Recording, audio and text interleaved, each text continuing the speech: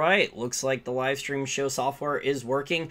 Another crazy day in markets, I'm using air quotes, because we have the dollar index down. We have a press release from Pfizer that was apparently delayed for weeks. They already knew this and were sitting on it before the election, probably because they don't like President Trump even though he agreed to give them, I think, $2 billion to accelerate the vaccine on Project Warp Speed, but he was also talking about restricting other drug profits, and that's a no no for Big Pharma. So the stock market jumps and the gold price, the paper gold price, because no physical gold was actually uh, sold, as my friend Gold Gold Fund manager Dave Kranzler noted on Twitter hours ago. Some of my other friends were saying the same thing. The paper gold price went in a very short amount of time. I'm looking here in the Kitco ch charts. 24-hour spot gold went from $1,960 down to 1,000 below $1,860, a 100 point drop. The most drop in seven years on paper price in a very short amount of time. Back for those of us that have been in the gold and silver paper markets for a long time now, decade or more, we are very used to old paper price smashes. However, the gold price is starting to rally a little bit. The gold price is already back up about 18 bucks, almost 19 bucks. Looks like um, now that the overnight market is starting to trade, almost back to 1890 on the paper gold price. So this live stream show was from stories from last week about the Bank of England ramping up stimulus again to tackle the global pandemic and Brexit hit. And also, after I did the Australian central bank show, the Reserve Bank of Australia show, I found another interesting article with, with that chart you can see there on your screen to the right of central bank balance sheets starting to go vertical now. And what are these central banks doing? They are creating currency units out of thin air to buy government bonds and buy other bonds. However, the deflationists say that this is not debt monetization, that this is not inflationary, because my thesis is this is stagflate tax a lie. Also, the deflationists, after having long conversations with them, I actually got one deflationist to admit about asset price inflation, but then he said that that doesn't count as inflation, which is, I don't know how he said that. He said asset prices are rising, but that's not inflation. I don't know exactly what that means. Um, the school I'm from, where currency units are created out of thin air to buy things like bonds and stocks and toxic sausage, that's monetary inflation creating asset price inflation. But okay, if you want to rationalize whatever analysis you have, then fine, good luck to you, sir. Um, your, but your bond trades are being supported by central banks nonetheless. So the So the Bank of England, this article came out Thursday, November 5th. The Bank of England increased its already huge bond buying stimulus by larger than expected 150 billion pounds or 195 billion dollars as it braced for more economic damage from new uh, global pandemic lockdowns and damage from Brexit too. However, the amount of increase in the bond buying program where they created British pounds or currency units out of thin air to monetize debt, to buy bonds. It was not enough. So their currency, actually, on the day this article came out, uh, Thursday, November 5th, the British pound on the exchange rate actually increased. My educated guess on why that actually happened is because you have all these other governments in the currency war in a global race to debase with all these central bankers gone wild, race to the bottom. They are all trying to do it, and the market is trying to figure out which central banker, which government is devaluing their currency the fastest. Which one is creating more currency units out of thin air for social program spending or to buy bonds, buy government bonds? Because that seems to be the main common theme. The size of government is not contracting during this pandemic, it's mostly the private sector. Actually, the size of government here in the US, according to GDP numbers, is now about the size of Sweden. So the uh, debt to GDP, oh, excuse me, the um, government size to GDP, not debt to GDP. Debt, debt to GDP is really bad too. But the size of government to GDP is now about 40, 45%, depending upon how you measure it here in the US. It has increased massively since before the pandemic. And that's before all these new transfer payment programs, social programs, if Biden is in the White House. Although with the Republicans, with Trump, we may still get MMT QE anyway. May still get more MMT QE checks anyway. So on the day England began a four-week lockdown to curb a second wave of the pandemic, which is killing as many Britons each day as it may, the Bank of England said it was still looking into the pros and cons of taking interest rates negative, but gave no update on the process. Oh, negative interest rates is so horrible. And they're talking about cashless society and government cryptocurrencies. And yes, Mr. Troll, I'm well aware of the difference between government cryptocurrencies and Bitcoin. And now you have with Bitcoin, you have Stanley Druckenmiller saying he owns Bitcoin. You have all these Wall Street hedge fund guys that are pumping Bitcoin and long Bitcoin, and Silicon Valley is long Bitcoin. So Bitcoin seems to be the one of the preferred trades compared to gold right now. But the difference between government cryptocurrency and Bitcoin is Bitcoin, not counting the forks, Bitcoin has a fixed supply. Government cryptocurrencies, I don't trust the government. I don't trust government economic data. Some governments lie more than, more than others. So I do not trust the supply amount for government cryptocurrencies. And people are like, oh, they'll be transparent. Oh, they'll be transparent. yeah, I, I don't think so. If you've ever played video games, there are something called cheat codes, and the government is going to have lots and lots of cheat codes. Look, if they can do the levels of Banana Republic, third world country, third excuse me, third world country election fraud that has happened that happened before election day and on election day and after election day here in the United States in multiple states and hardly anyone or no one is going to get charged with felonies. No one's going to prison for ballot fraud and election fraud for count even admitting it on video. It's recorded on video and audio. I've heard some of it. There's and people are bragging about committing throwing tens of thousands of ballots away in the trash. The government can get away with a lot. Let's just put it that way. Especially with no rule of law and corrupt court systems and judges and political bias. Okay, pros and cons taking interest rates negative, but gave no update on the process. Quote, if the outlook for inflation weakens, the committee stands ready to take whatever action necessary action uh, additional action excuse me is necessary to achieve its remit so they're going for inflation targeting. They're going for inflation targeting. It's inflate or die, as they say, or stagflate, tax and lie, or whatever social program spending or debt monetization. They'll create British pounds out of thin air to buy government bonds or other assets or help British banks or just to weaken the currency because that's the game plan for all these governments.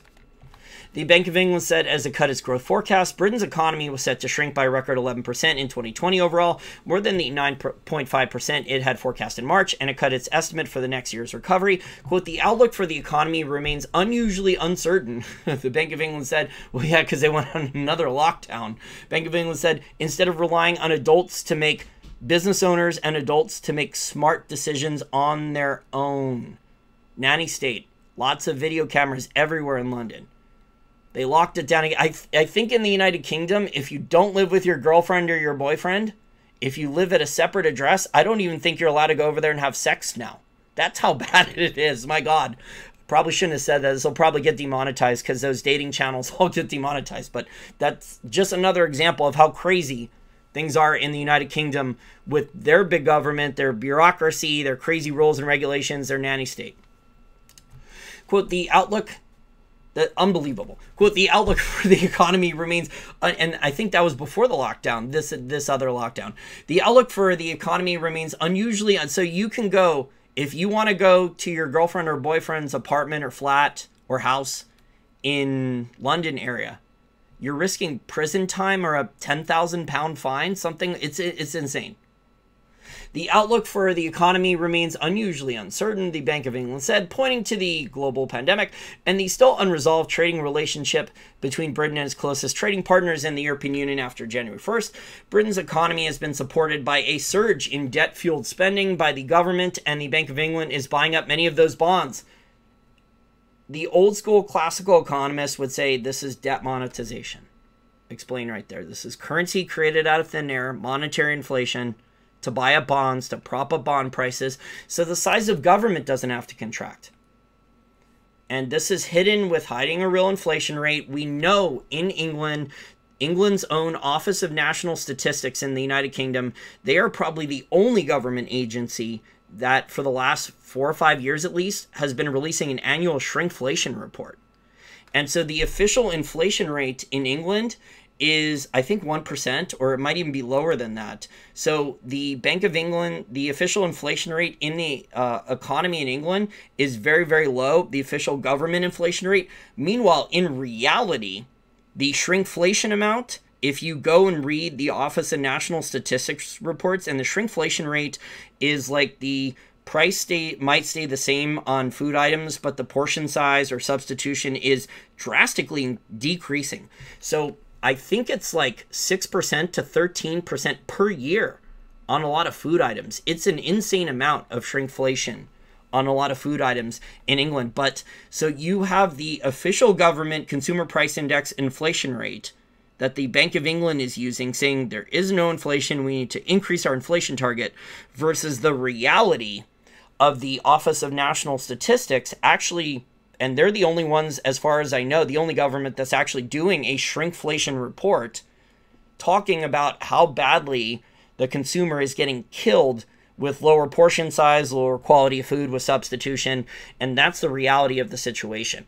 So it's uh, for certain food items because infl- real inflation in the Austrian School of Economics with the Cantillon effect, when there's currency and credit sloshing around and asset price inflation and tons of distortions, and all these other governments are all trying to devalue their currency too, and all this devalued currency is le- and is leaking into global supply chains. The inflation, the amount of inflation in supply chains that's affecting the cost of food and other goods that are imported is not going to be even. It's not going to be evenly distributed.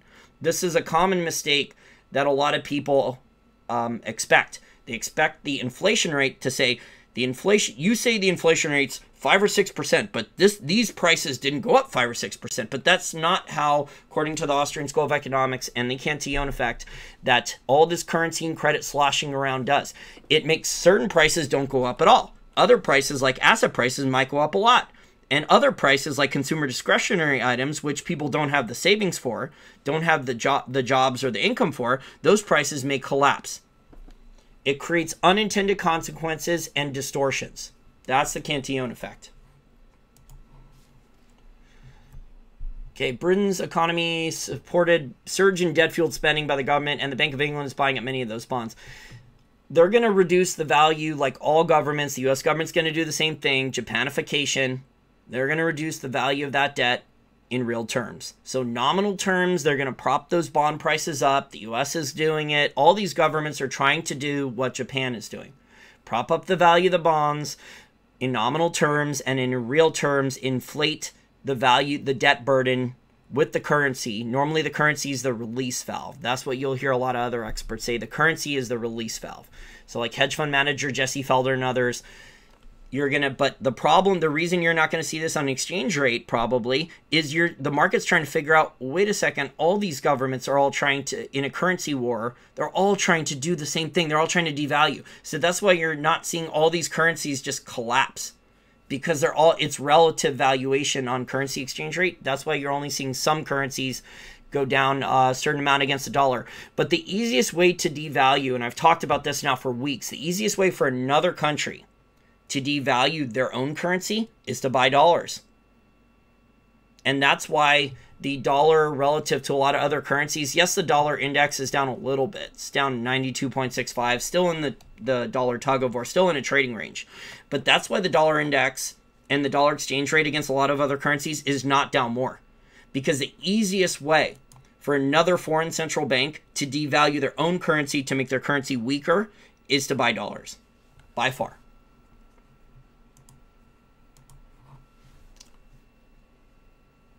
Finance Minister Rishi Sunak is due to speak in Parliament later on Thursday as emergency spending and tax cuts. So they tried to do supply side economics with tax cuts, saddled Britain with its big, it creates budget deficits. You don't do su- supply side economics is dangerous. Biggest budget deficit since World War II. The Bank of England kept its, especially when the real economy is not booming. The Bank of England kept its benchmark bench rate at 0.1% as expected in the Reuters poll. It made little mention of negative rates while a con- cons- consultation, excuse me, with banks over the practicalities is underway. Sterling rose against the dollar. See, that's surprising despite this announcement of a bond buying program. Rose against the dollar and the euro after the announcements and bond yields fell. See, that's very unusual. The increase in the size of the Bank of England's asset purchase program took it to 895 billion pounds, 50 billion pounds more than expected by most economists, but apparently these other governments and central banks are devaluing their currencies and monetizing their debt and racing to the bottom in this global currency war race to debase with central bankers gone wild even faster. The central bank said that would give it enough firepower to stretch its buying of government bonds through the end of 2021, but the purchases could be sped up if needed. Of course, because we're in a fiat currency and credit Ponzi scheme where there's over $254 trillion and growing quickly of total debt outstanding. It's probably like 270 trillion total at this point. Not all of that debt out of the 250 uh, trillion plus is dollar denominated debt, but a large chunk. You also have uh, Chinese yuan denominated debt, euro no, euro denominated debt, and others. But those make up the major currencies make up the largest amount of debt. But look, none, mathematically, none of that debt's. Uh, excuse me, mathematically, it's not possible to pay back all that debt. There's just not enough cash flow. And even before the pandemic, servicing that much debt was dicey. And now we have a lot less cash flow in the economy because the real economy there's not as many jobs. The businesses are not doing well. You're still seeing unemployment. And you have all these governments especially the US government talking about replacing income talking about MMT and universal basic income and handing people checks to not work to just consume. So that's why I say the global economy, the current global financial system of debt based fiat currency and credit, is a Ponzi scheme. The amount of currency and credit must grow. And when it doesn't grow, normally it turns into like a 2008 financial crisis when there was a tiny drop in credit for a short there was a tiny drop in credit chris martenson had a good chart on this dr chris martenson i think the chart it showed maybe like a six month drop in credit, and that helped cause the 2008 one of the reasons why the 2008 financial crisis. And then the credit engines restarted, and you've started to see. This is why the Fed stepped in with all this press release manipulation. And by the way, I was listening to an interview with Danielle DiMartino Booth on her YouTube channel from a couple weeks ago where she interviewed Peter Cecchini, a money manager from Wall Street, and he was talking about the off balance sheet special purpose vehicles. And those things off balance sheet, they need to be audited. They can be leveraged up tenfold, 10, 10x on uh, fractional reserves. So who knows how many corporate bonds and junk bonds and other toxic sausage and all the different types of special purpose vehicles the Fed is allowed to stuff into there. But all this um, Wall Street, this is why you had lost my train of thought there for a second.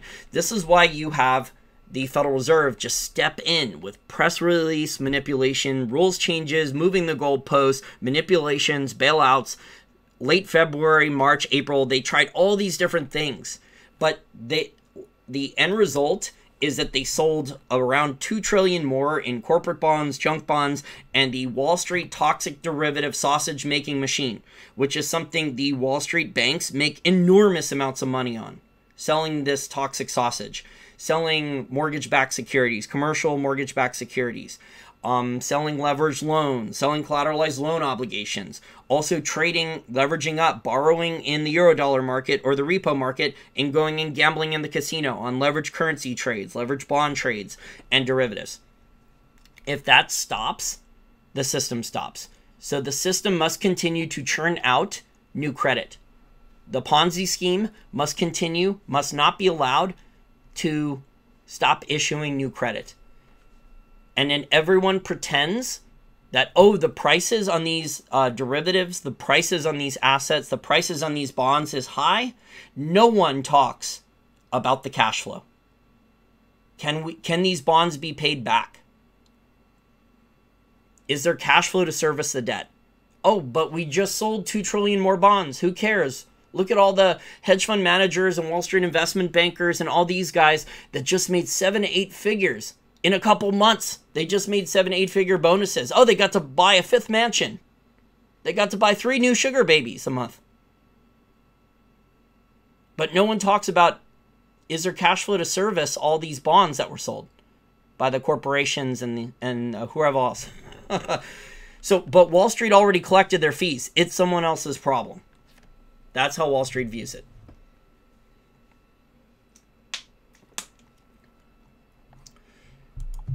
Okay, the, the rest uh, talks about the in official inflation rate in England. Also, I have this, the rest of the Bank of England article. I also have this November 4th article that came out after my Bank of Australia, Reserve Bank of Australia show last week.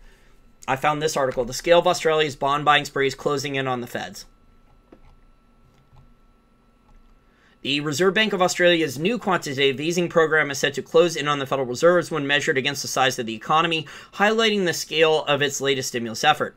The plan to buy Australian $100 billion or 79.1 billion US in bonds over six months kicks off with the Reserve Bank. And of course, this is to create new currency units out of thin air to buy those bonds, kicks to help devalue the currency to help boost exports, kicks off with the Reserve Bank of Australia announcing it will purchase 2 billion in federal government securities at Thursday's auction. Governor Philip Lowe said Thursday, excuse me, said Tuesday, he estimates the RBA's balance sheet will have almost tripled once purchases are completed by mid 2021. So let's see here. The Reserve Bank of Australia is the yellow one. So it's just starting to move. It's at the bottom of the screen there on the Bloomberg chart. It's the bottom yellow one. It's just starting to inch up. The angle of the Reserve Bank of Australia's balance sheet is just starting to go vertical.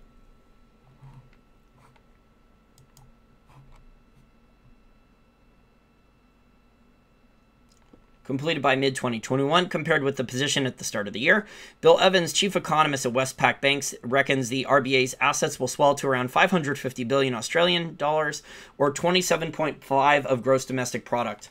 The Fed's balance sheet is sitting around 34% of GDP, and most economists don't expect it to ramp up the pace ramp up the pace of its asset purchases anytime soon.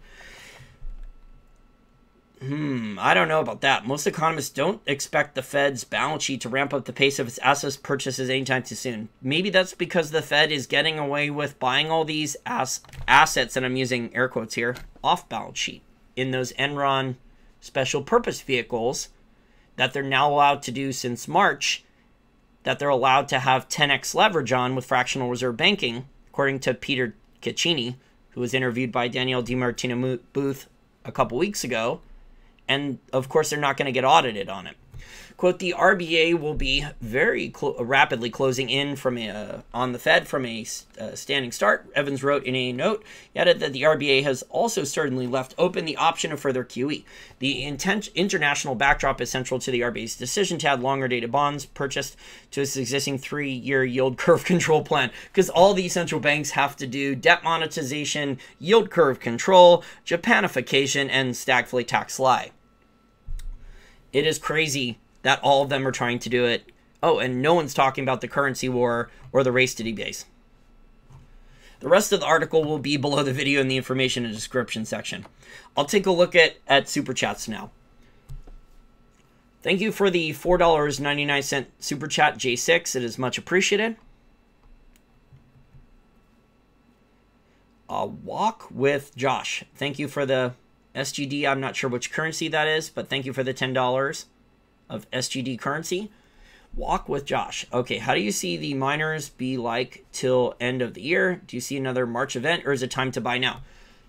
Hmm.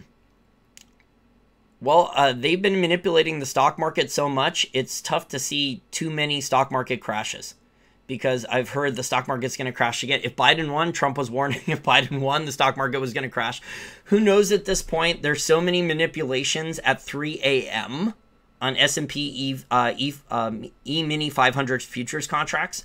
So the miners have already gotten hammered with the gold price. So this is why, Josh, you don't buy all of your position at once. So I would say there's still a probability we could have a March event, but I don't think it's it's like 70, 80, 90%. Is it 40 or 50%? Maybe. Is it 30% probability that we have another March event in the miners? Probably.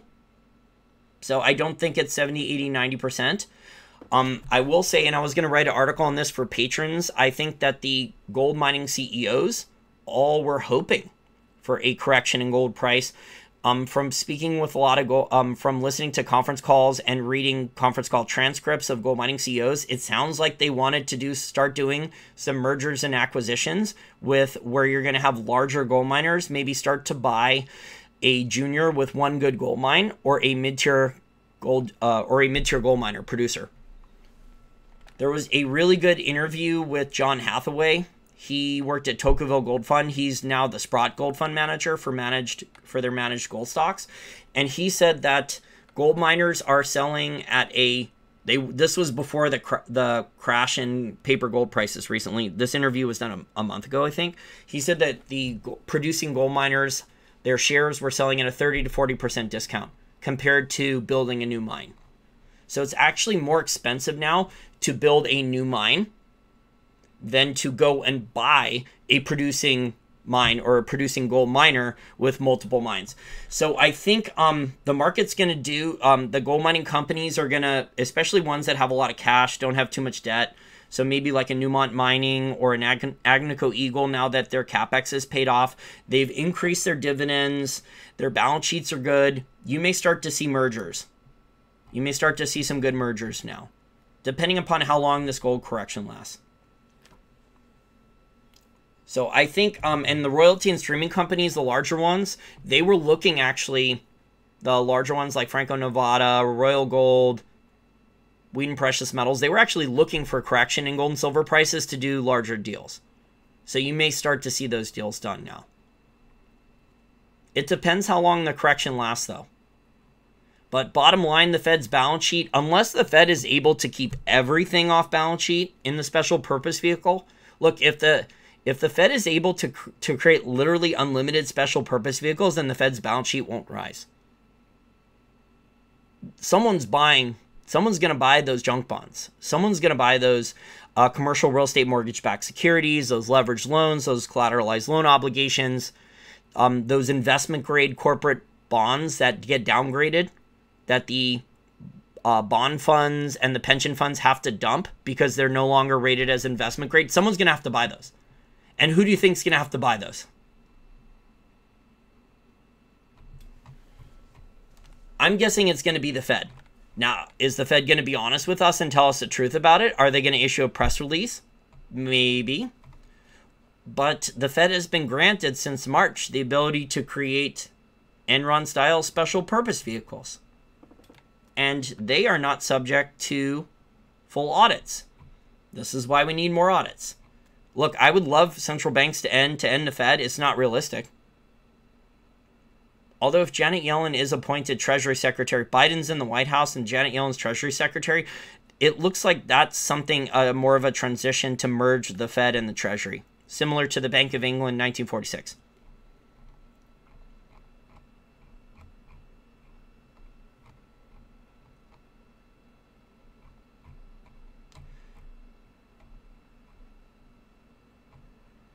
Super chat from Martin. Thank you for the $4.99 super chat. It's much appreciated. So I would put the probability of another March event, I would put it at most 40 or 50%. Um, we're already having a gold correction. So when the dollar index is weak and gold should be strong, the paper price is smashed. This to me tells me that the Fed's balance sheet, look, the Fed's going to have to buy a lot of stuff. I'll do an article on this for patrons over the next, uh, hopefully, couple weeks. The Fed's, I'll lay out the case why the Fed's balance sheet's going to have to double in the next two or three years. And yet it's going to be ugly. But if the Fed can put everything off balance sheet, then who knows? If they can just create unlimited special purpose vehicles, and I'm guessing here because the Fed's allowed to create some special purpose vehicles, but if the Fed's allowed to create some special purpose purpose vehicles, maybe they can get away with creating almost unlimited special purpose vehicles. Because the, the laws just keep changing. The Fed's not supposed to be able to buy all this toxic sausage, all these derivatives mortgage backed securities. The rules were changed so they could buy mortgage backed securities. The rules were changed so the Fed could create special purpose vehicles. See, this is what I mean by rules changes. When the government or central bank gets in trouble, they just change the rules. When the when the election results looked bad, look at what the states were doing with the ballots. That was a bunch of rules changes. Yeah, fiat currency sucks. I agree with you, Sean. He had uh, better cuss words than that, but I don't want to get demonetized. I don't want to give YouTube another excuse to take away the $3 to $5 in Google AdWords revenues I'm still getting on this. So thank you very much for the super chats. or you can sign up for my Patreon at only five bucks a month. There is almost 150 articles, audio podcasts, and technical analysis chart work behind the paywall. That is unique there. For only five bucks a month. I don't think you can top that anywhere else.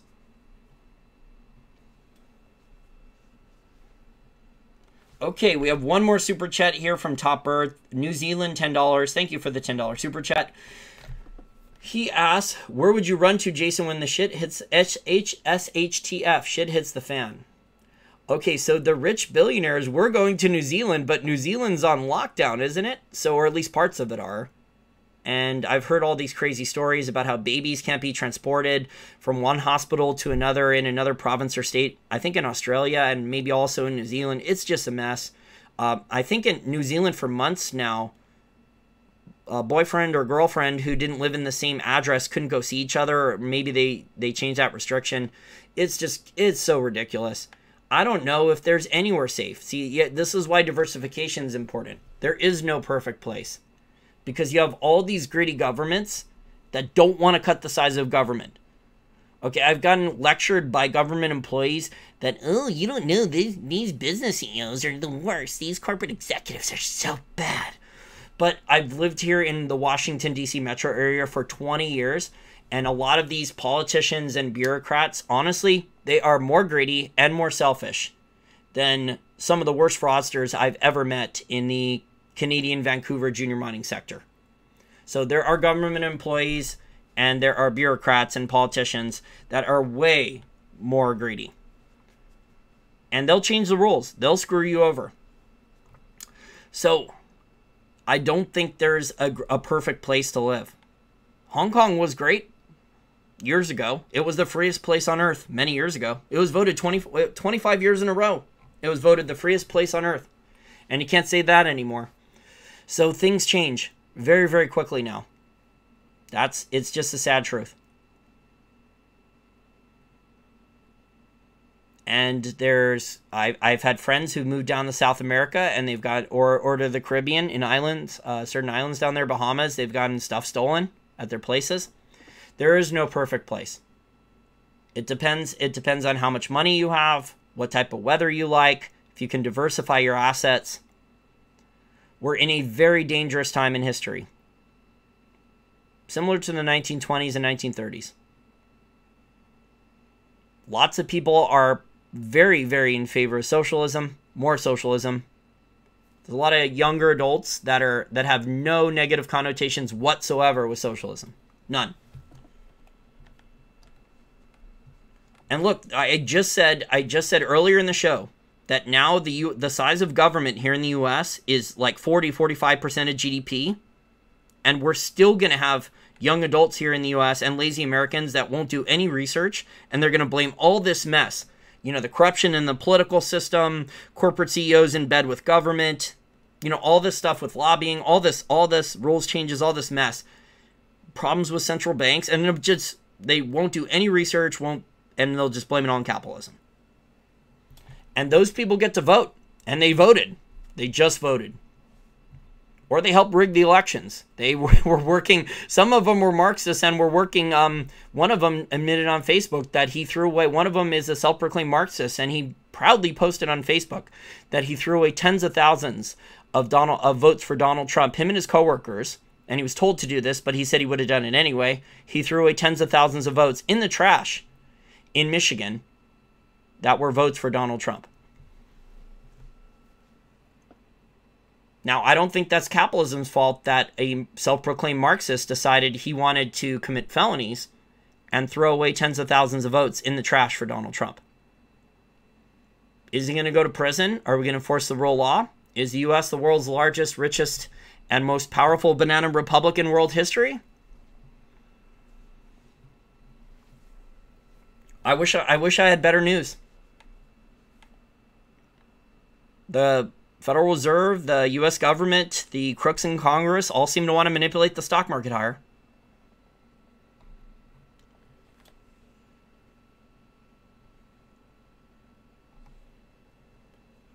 Keep the bond market propped. I think the main rules for manipulation are smash the paper gold price at weird hours when you can to stop gold from going up too quickly. Uh, manipulate the stock market higher, keep the bond prices propped up, and then bail out the banks and big banks, large banks, and large hedge funds to prevent the derivative from failing. And we have no idea about the amount of bailouts that uh, the large banks and the large hedge funds got. There's an excellent interview with Christopher Cole from Grant Williams' podcast from about a few days ago. Must listen. Talks about all the bailouts that the large banks and the large hedge funds got in February and March. So the most of the bailout money and the PPP loan program was a mess, like Medicare fraud, Medicaid fraud, Social Security fraud type of mess with fraud. But um, the majority of the bailout money went to large banks and large hedge funds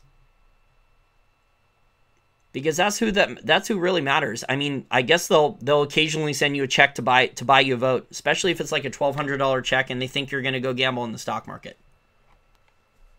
That'll keep most of the sheeple happy for a little while. Okay. We have uh, one more super chat here from Animalia. Nicole Chrysalis Nix, thank you for the $5 super chat, $4.99. She is also a Patreon account contributor, so thank you there too. One of over a thousand a month. Any reason why Rick Rule, Peter Schiff don't discuss the derivatives market, LIBOR, or SOFR? I have no idea. Uh, Rick Rule focuses on mining stocks and credit analysts. So he's not, he doesn't focus as much on the total global macro. He focuses on like geopolitical risk for mining companies and evaluating deposits. So funding mining companies. That's where most of his focus is, and on credit, maybe credit markets, and uh, supply demand for commodities. Peter Schiff, I don't, I, I think Peter Schiff focuses mostly on the U.S. government. He focuses mostly on the U.S. government's finances. Because uh, in the past, I haven't seen a lot of his analysis lately. In the past, he was saying that every other government had better finances than the U.S. government, but the truth is they're all doing it. And this is why the, and this is why the dollar is propped up because as I have explained for weeks now, the the easiest way for another foreign central bank to devalue their own currency is to create their own currency out of thin air and then buy US dollars. And that helps the way the global financial system is designed and that is the easiest way to devalue their own currency is to buy is to create currency units out of thin air and buy US dollars. So that that is artificial demand for dollars that props up the dollar temporarily. How much longer can this last? It is tough to say because we have all these governments doing really, really insane things.